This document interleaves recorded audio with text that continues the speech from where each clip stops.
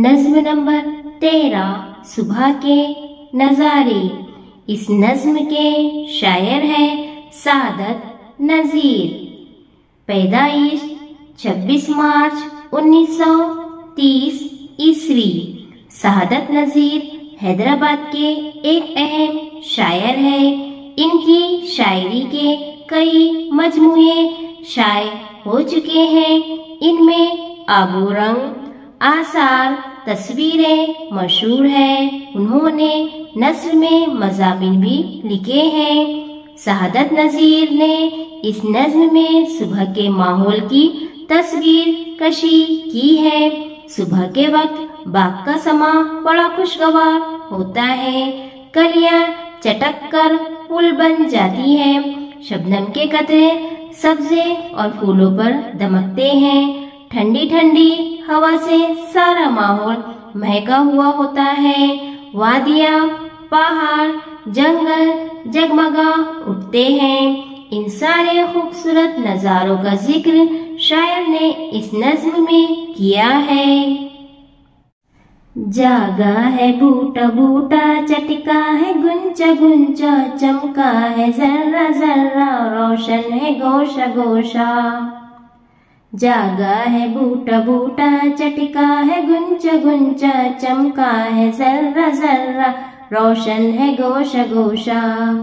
सब्जा लहक रहा है, कलिया महक रही है।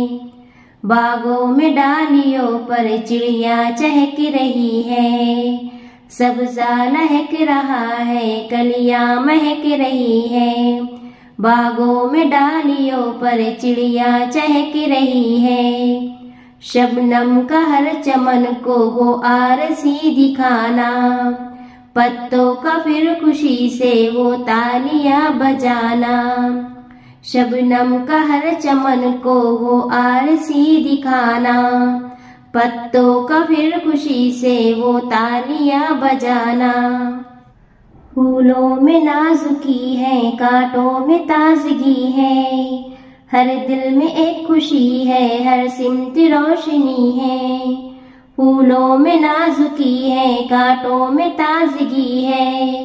हर दिल में एक खुशी है, हर सिमत रोशनी है। वादी, पहाड़, जंगल, हर एक जगमगाया। दरिया को जोश आया, साहिल भी गुनगुनाया। वादी पहाड़ जंगल हर एक जगमगाया दरिया को जोश आया, साहिल भी गुनगुनाया।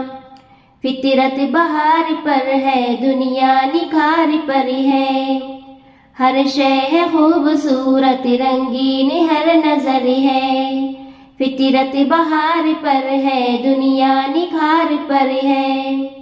हर शय है खूबसूरत रंगीन हर नज़र है। सच पूछिए तो मंजर कैसे है प्यार प्यारे? देते हैं लुत्फ क्या क्या ये सुबह के नजारे? सच पूछिए तो मंजर कैसे है प्यारे प्यारे? देते हैं लुत्फ क्या क्या ये सुबह के नजारे?